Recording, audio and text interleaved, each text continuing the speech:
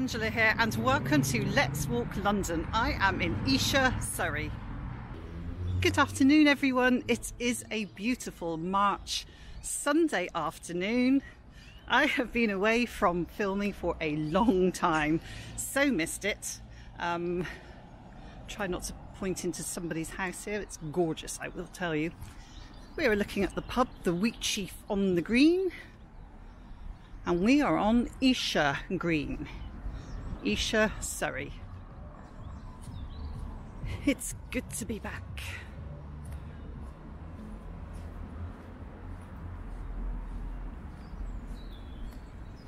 Summer is coming, it says on that sign, and so are we. Open April the 12th. We are still locked down at the moment. I come here to do supermarket shopping, so I figure that gives me a good excuse to do some filming while I'm here.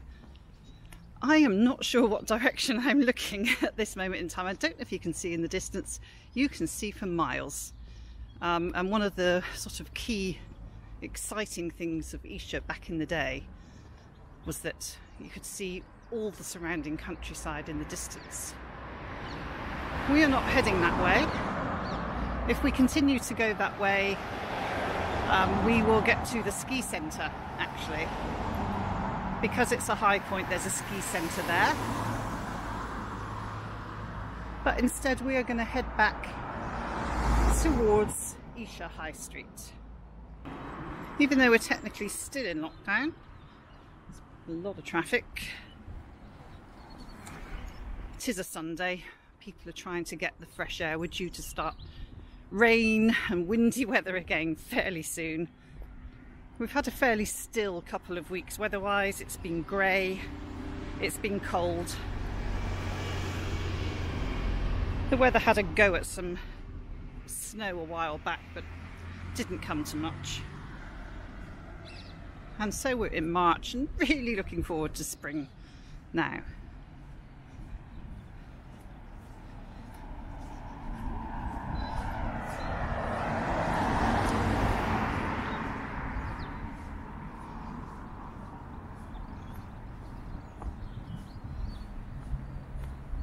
We're going to head towards the high street.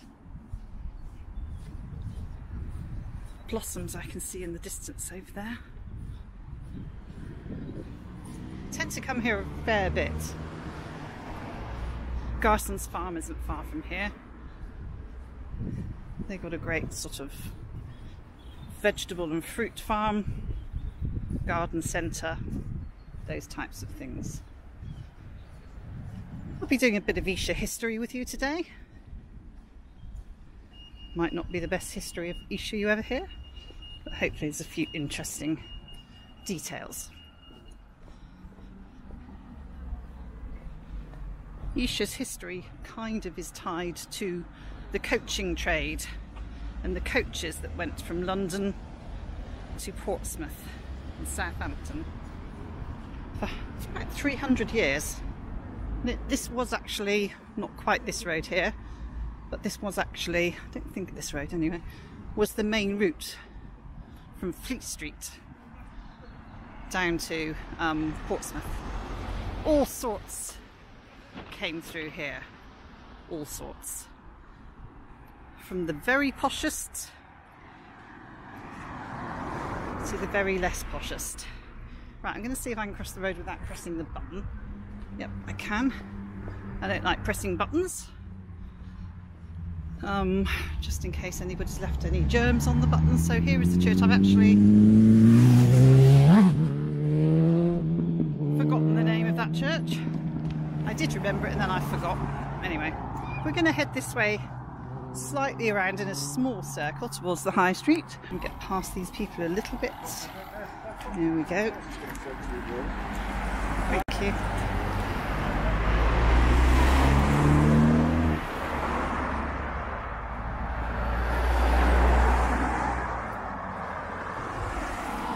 Fair to say Esher's a bit posh. And as I said, if we headed in that direction, we'd go to Garson's Farm and a Walton on Thames. So Walton on Thames in that direction. Oh, this is Park Road.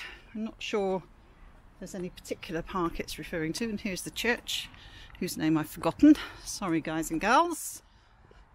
Look it up or post it in comments if you know better than this uh, idiotic person who forgot the name of the church.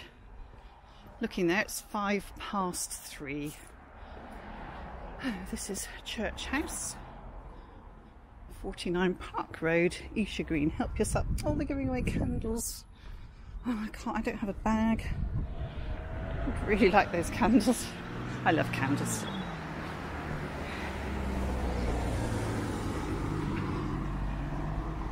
There something in that that Church House is giving away the candles? I don't know. So, fairly sort of typical for this area row of terraced houses. As you're well aware, I'm no architect, but taking a guess it's Victorian. Massive growth in this area during the Victorian era. Very much beloved. High society, royalty. And then, of course, we got the racecourse. Trying to change size so we can get a little bit more light on screen. So yes, in this area you'll see lots of terraced roads like this one. Fair amount of movement on the property market. What with there being a global pandemic and all. Esher Green Baptist Church. I know that because there's a sign that tells me it is. We're starting to get to the old Portsmouth Road here, A308. And I'm going to be telling you about Claremont House in a moment. Sorry, Han's gone to sleep. It's pretty cold, it's nine degrees, but you know, one of those days when it feels colder. That slight breeze that makes you feel colder than you want to. I'm going to try and cross over. It takes a while to get across these roads. As I said, fair bit of traffic. So down towards that direction um, takes you towards Cobham and the A3 actually. Um, and Claremont House. So Claremont House was kind of the centre of life here. Um, really grew to be sort of frequented by the aristocracy, royalty, was built in the uh, 18th century, 1709. Architect, playwright, courtier, and spy. Sir John Vanbrugh bought the area then known as Chargate Farm and Wood to build himself an elegant retreat and develop the garden. And it became a much loved home, did Claremont uh, British and foreign royalty. Princess Charlotte, Prince Leopold added features like the camellia greenhouse. Then it got broken up. So many things do. It's now owned by the, um, I was just about to say the NHS, the National Health Service. no, it's not. It's owned by the National Trust now. Right, this is the Albert Arms. So this, you know, recognises the fact that Esher really grew during the Victorian era. Quite the boom town for the upper crusts. And people who sort of stayed at Claremont would then contribute um, stuff to the local town or village, whatever you want to call it. And one of the things that was contributed was actually the water fountain. Looking over there, I can actually see a water fountain. So I'm going to take my life in my hands and attempt to cross the road in a mo. So here we are looking down Esher High Street in its current form.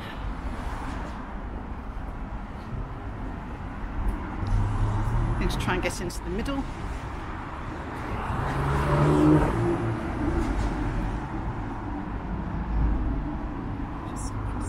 Even on this road there's a car which is of course a Mercedes. Because as I said, we're at the posh end of town. Still waiting. Somebody let me across, thank you. Looking at the Bear Hotel, which is a very significant um. I'm pressing a button. So the Bear Hotel was a very uh, significant stopping off point during the uh, coaching, uh, I suppose, three, uh, 300 years. So you could sort of change over your horses here and um, people on the stagecoaches and what have you uh, could get some ham or some beer or a pie, something like that. Here we go, crossing the road.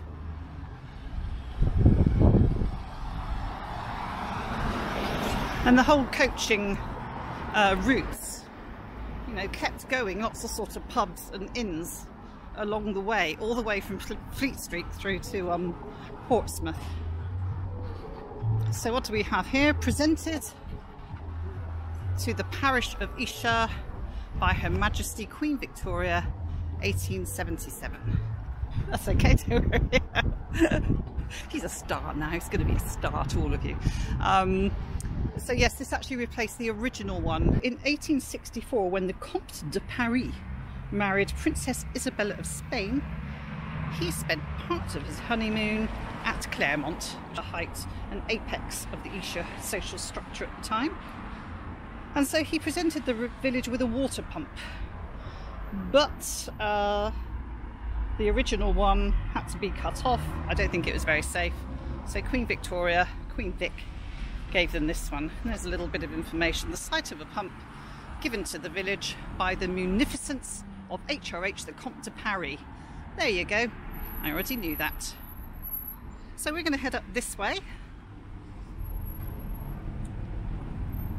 It's a Sunday, so things tend to be shut anyway. However, Sunday during lockdown. And so everything would be shut anyway. So here's the sort of central point where sort of all the traffic heads in different directions. Um, in that direction is the A3, uh, which is the bypass. So originally the coaching route went along the Portsmouth Road behind me, uh, but in the 1970s, oh, run, it was decided to detour the A3, the main route from London down to Portsmouth around Esher rather than through Esher. So here we are at the Bear Hotel. I'll get onto that shortly. Just going to pop round the corner. It's a very cute little church around here. We are on Esher Park Avenue. Fair bit of building work going on. It's a pretty popular place to live anyway. Um, so you can see we've got some new build type of structures over here. The Civic Centre is just through there where I've parked my car. Um, some people looking at the sign, which is unfortunate because that's what I want to do. So this is St George's Church. I'll show you a picture there. Oh, it's got the wrong time on it. It says it's five past five, so I need to change the time. So this is Esher's oldest public building and one of the earliest Anglican churches. Most of the structure is 16th century Tudor I think it's a very cute little spot, this one. As I said, Civic Centre through there. And we're going to head back this way, down the High Street. And I will take you, tell you something about Esher as a trading post. Uh, sorry, not trading post, staging post. Wasn't that much trade, a lot of agriculture. Quite a small population. So how is everybody? how's lockdown in your part of the world or your part of the country. We're sort of waiting to reopen here now. Spring is approaching. Fingers crossed. So if you look straight ahead, that would take you back to Esher Green where I started filming. And here we are at the Bear. So let me just get my notes up about the coaching uh, stuff that used to come through here on the Portsmouth Road. So this was formerly known as the Portsmouth Turnpike Road, one of the oldest thoroughfares in the kingdom. Charles II and every English king ever crowned would see his ships at Portsmouth and so would walk along, uh, walk along, no, come on a horse uh, and carriage along this high street. And here was a stagecoach stopping point. and Esher actually as a town grew solely because it was a stopping point on the stagecoach route And this is where they would stop at the Bear. Okay. And as I said, pretty well for the sort of pubs along the old Portsmouth Road. They could sell their beers, their wares, their foods, their pies. Uh, but when the coaching uh, business stopped and the railways came along, kind of shifted things along, removed their business. Now I actually see, I'm not in the middle now, I can see what looks like another water pump there. I'm not going to cross over because I can't get across the road. um, but if you can just see in the trees, there's another little water pump there as well. I don't know if that's the site of the old one. Somebody pop it in comments if you know. The first staging point, so once you left London and you sort of gone um, sort of Fleet Street to end, you would stop at Robin Hood, which is at Kingston Vale. And then the next would be at the Bear, which we've just seen in Esher. And some what are known as pair horse coaches were known to run daily from Esher to the Bolt in Tun in Fleet Street. And these also called at the Swan in Thames Ditton can't remember if we saw the Swan Pub when I did my Thames Ditton walk with you. So here we are. Esher looking very modern now. These roads were terribly dangerous during the coaching uh, era. Robberies, bad quality roads. Uh, they used to transport sailors down to Portsmouth. There's a story that a, a coach overturned once on the ice and the sailors were so drunk that they were actually asleep as people tried to right the coach. Now, people like Samuel Pepys, Lord Nelson, Duke of Wellington, the many historical celebs that would have passed through here. And mail coaches as well came into general use, as I say, until the railways um, kind of came along and replaced it. So there's Pizza Express. Why do I show you Pizza Express? Because we used to go there for pizza back in the day. Now I'm going to show you the name of this. It's Assail, Assail Place. That's the old name for Esher. So when Esher uh, was in the Domesday Book, so Esher appears in the Domesday Book, 1086, yeah, it was Asel or Asela in the Domesday Book, part of the Saxon feudal division of Elmbridge Hundred. And now we're looking at the Everyman Theatre, oh theatre, cinema, cinema. Looks more like a theatre I think. Anyway, nice old building, very comfortable. I've heard good good stories about watching a film there. The Good Earth, massively long time that that one's been there. Um, loads of people have been there, never been myself. It's really weird. You kind of want to go to places and end up going to other ones instead.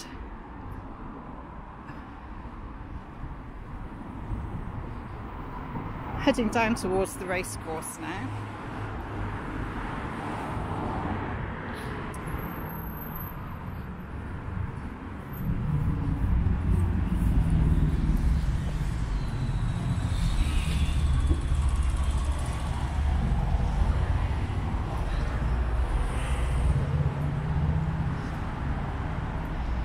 And Ball. I think they're known for their posh paint, aren't they? Posh paint, and Ball.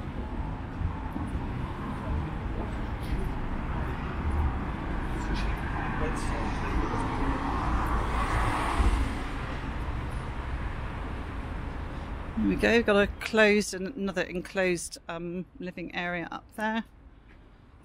When I started on the green, the place that I was filming at was one of those. Dachshunds, always reliable for a nice bark from Dachshund. Small dog syndrome. There we are over at the Civic Centre through there. Parked up over there. It's a Sunday, so I didn't have to pay.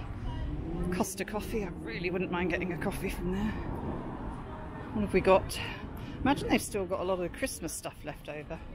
Yep, toffee spice latte. That sounds like a Christmas latte to me.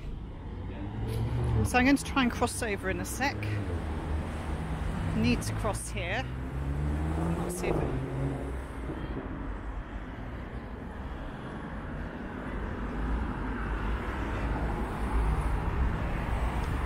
Interested to know what this is. Is this residential here? What is this? Sandown House, number one High Street. Answers on a postcard. Is Sandown House... Oh, I can see there's a plaque. Somebody lived there. But I can't get close enough to see who it was.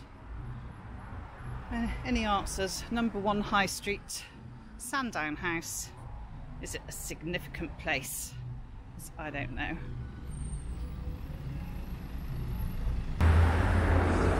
Guess I better press the button. I have anti-bac to my hands. So back on the Portsmouth Turnpike.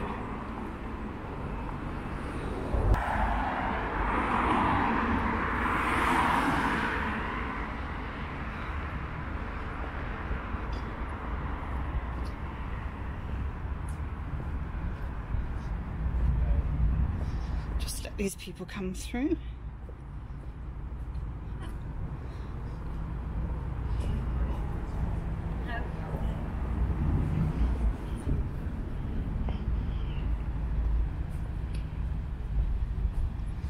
Train station here, it's about a mile from here or so, had a number of different names, including on maps until 1933 it was known as Esher and Claremont train station here.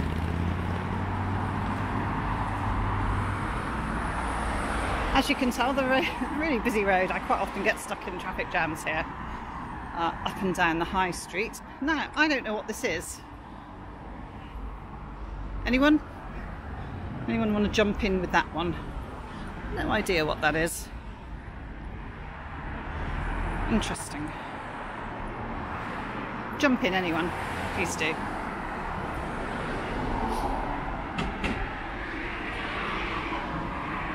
Once the railways came along, Esher kind of benefited from its reputation.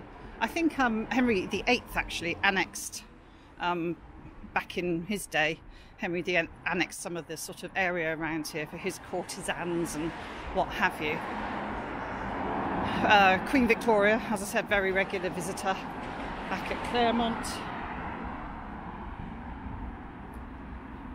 And in the 19th century, it's uh, described, I'm going to put the sources for you, um, where I got the information from for the history. Uh, I'll put that on the description um, but it's described as a well ordered community basking in the shadow of its royal connection, spiritual welfare provided for by a variety of churches, a national school to provide basic education for the children of the poorer inhabitants, and a new country county brigade fire engine to deal with conflagrations.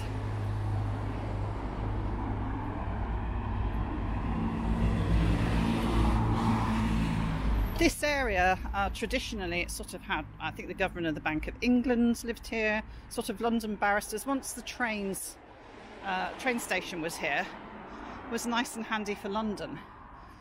So sort of uh, old members of the British Empire and traders and stockbrokers and all that type of thing. Kind of got a reputation.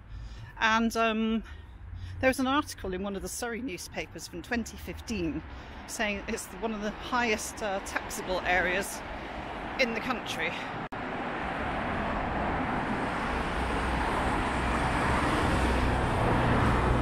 A lot of this area traditionally um, was sort of, you know, wealthy people that lived in uh, woodlands, basically the great big house in woodlands. And slowly the sort of big parcels of land got sold off. And Sandown Racecourse was actually one such parcel of land. Here we are, Sandown. Sandown Racecourse. Absolute leader in its field at the time. Transformed the racing industry. Not sure if you can see in the distance. Uh, there's a tr train just about to go through. There we go. Around the suburban lines. If it's a sort of more stopping service, the next stop along is Surbiton. I kind of think of Esher as sort of the next high street along from Surbiton High Street.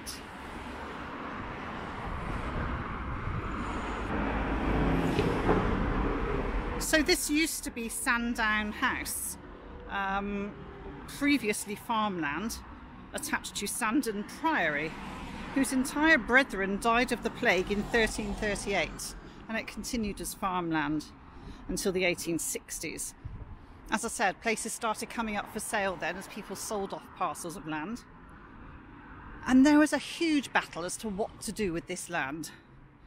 The local residents were horrified. There was plans to build a what was then known as a lunatic asylum, um, a small town, or a racecourse. And interestingly, residents uh, lobbied more for the lunatic asylum from certain quarters than a racecourse, because a racecourse was more or less a den of ill repute, not a place that nice people wanted to go back in the day. I have been in. Great, uh, it's, it's a pretty good experience actually. We had to leave early because the lad was with me and he was young then, he was about six. And autistic six year olds cannot cope uh, with an area like this, is too much for them. but it was transformational. What they did here, the one thing they did that no other racecourse did, they put a fence around it. And people wouldn't normally have to pay entrance uh, to go into a racecourse back then. So they charged entry. They put a fence around it, charged entry, and this was a, seen as a way to keep out the lowlives, the cheats, the crooks that would normally frequent a racecourse. The other big thing they did, so they had a nice, a nice posh stand for the wealthy, even if they were the badly behaved wealthy. Um, they also had a place where the ladies could go. So this was unthinkable that the wealthy could bring their wives and their daughters, and maybe their mothers, I suppose, to the races. They normally just had to wait outside on a on a kind of on a stagecoach or something, you know, coach and horses. But it was believed that the gentlemen and ladies of London society would be attracted if they allowed the ladies somewhere nice to go. And this was uh, Sir Wilfrid Brett and his young partner, I don't know how to say the name HWFA. It sounds Welsh to me, Hwfa Williams. And they, they saw off the arguments against them and built Sandown. And it became really well known as the ladies' racecourse par excellence. And the club had 1,800 members, the same figure as the local population. So that would double the local population. They were approached by BBC Television, the stewards, in 1939 um, to film a race. They said, absolutely not. You are not coming here to film a race. But on the 24th of January 1948, two steeplechases and a hurdle race were broadcast by the BBC. That is the first time that horse racing was televised live anywhere in the world. And just nine years later, in 1957, Sandown Park staged the first ever sponsored race, the Whitbread Gold Cup. It's a pretty historic racecourse as they go. These days, as I said, a pretty high rate of taxation going on here. Some famous residents include Maurice Gibb, George Harrison, Chris Tarrant, Gary Lineker, Frank Lampard. And as I said, I'm pretty sure Mourinho used to live around here somewhere as well, and some others. Um, not necessarily known to all of us. I'm going to head a bit further down. There's an old stone I want to show you, if that makes any sense. Some of you that know local history might, might know which stone I want to show people. Um, along the sort of Littleworth um, side, there's a nice pond at Littleworth as well. I think it's Littleworth Common. I used to take the lad there a lot to find frogs. I used to find a lot of frogs. And these gates, are these the gates that are from Kensington? I don't know if these are gates from Kensington Gore. Kensington House in Kensington Gore was demolished and they acquired the ornamental gates. I don't know if these are said ornamental gates and those over there. They might be. So we're heading out of Esher High Street now. The station is actually down in this direction. I just find it a little odd. I mean, understandable, I suppose, but Esher train station is actually quite a distance from Esher High Street. Whereas I live in Surbiton and the train station is right on the high street. And also Kingston train station is right in the middle of Kingston.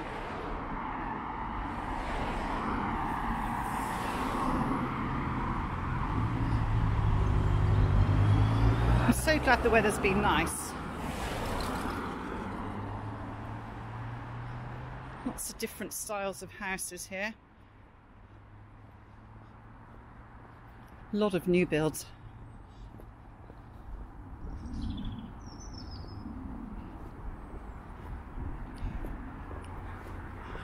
These tend to be kind of private roads and um, dead ends as well. So the roads around here, there aren't really any easy cut throughs. There are a few, but not very many easy ones. So most of the traffic is funneled this way. And as I said, the A3 goes around Esher.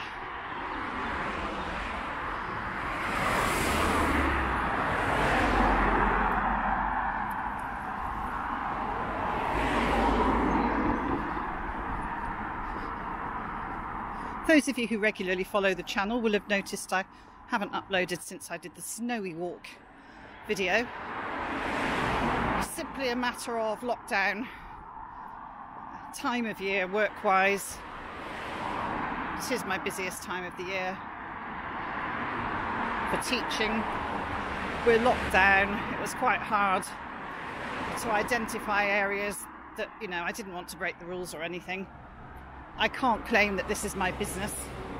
This was my work, then I could continue to travel to film, but it's not. I get paid a salary to do a different job. So kind of felt to stay nearby. And the weather actually has been pretty grey. It's been sort of five degrees, cold wind, grey, not ideal filming conditions. So here we are coming onto Littleworth Common over there. I got a real soft spot for that. Even though it's really noisy and trafficy, it's actually the air's quite polluted here actually. Um, there's a lovely pond or two here. And we used to go in the spring and early summer and find the little the little frogs and try not to scare them. As I said, more new builds. I've seen a fair few go up and down over the years through here.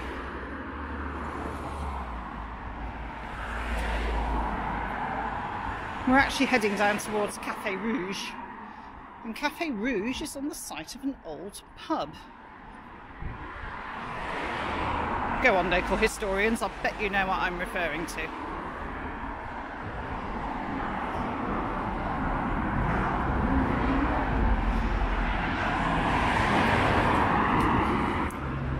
Building site here. Wonder what it's going to be.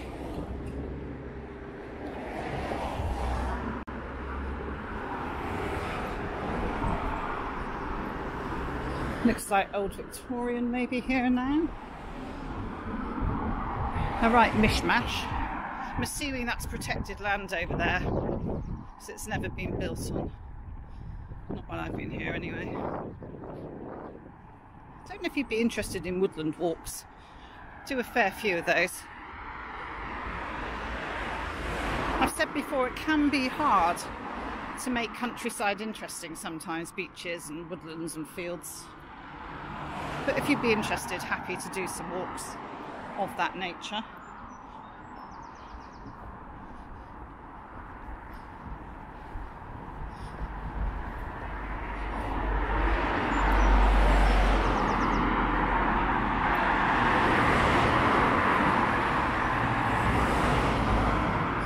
So these appear to be Grant's cottages.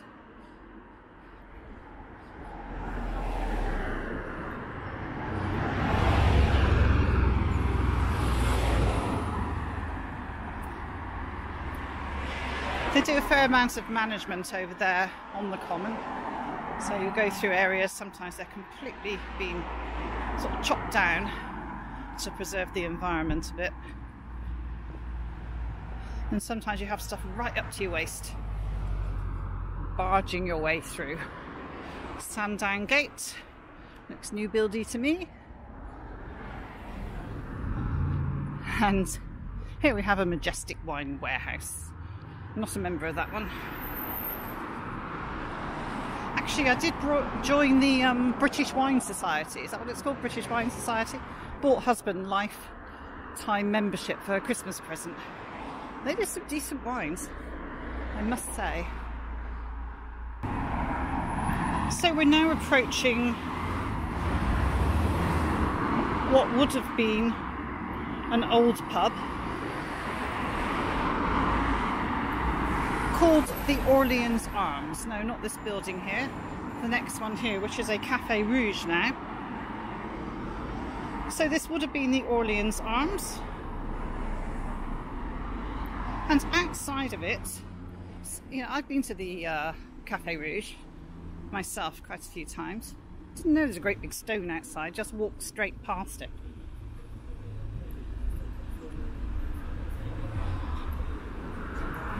And this is the White Lady milestone with the names and distances of lots of different towns and villages. Here it is, well over a century old.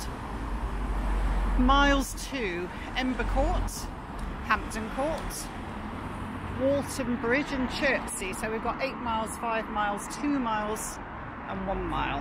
So here we have I can see how many miles to Hyde Park. 13. 13 miles to Hyde Park Corner. 15 miles to Westbridge. I don't know where Westbridge is. 15 miles to Southwark, 3 to Kingston, 6 to Ewell and 12 to Croydon. And on this side, oh, yep, some more. So we've got 57, 57 miles to Portsmouth, and 14 miles to Guildford. We've got Haslemere, Dorking, Reigate.